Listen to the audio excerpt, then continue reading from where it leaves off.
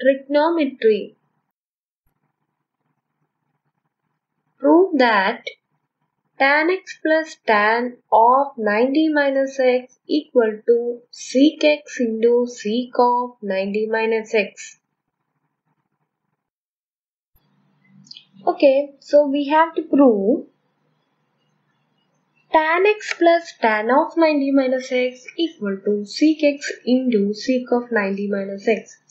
So in order to prove this equation, at first consider the LHS of the equation. That is tan x plus tan of 90 minus x. We have to change this LHS into sec x into sec of 90 minus x.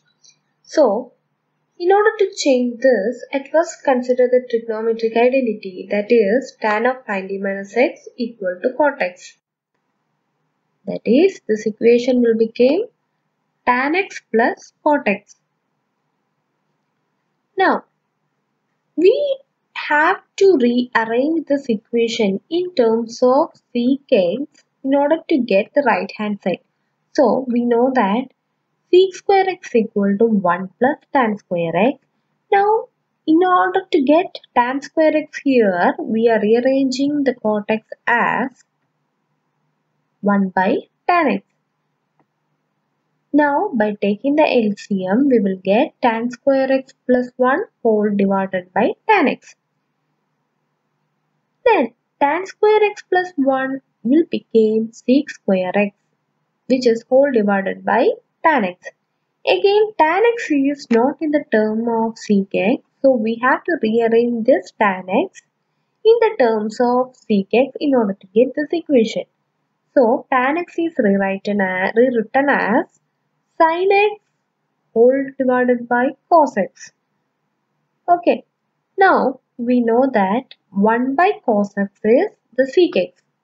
So, this equation will become sec square x whole divided by sin x into sec x that is 1 by cos x becomes sec x. Now by cancelling c square and c, we will get sec x whole divided by sin x. Now the sin x is 1 by cosec x. Okay that is 1 by cosec x will become cosec x into sec x.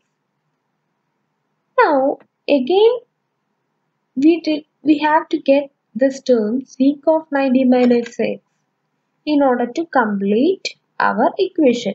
But we know that cosec x is sec of 90 minus x. That is, we get the RHS here. That is sec x into sec of 90 minus x.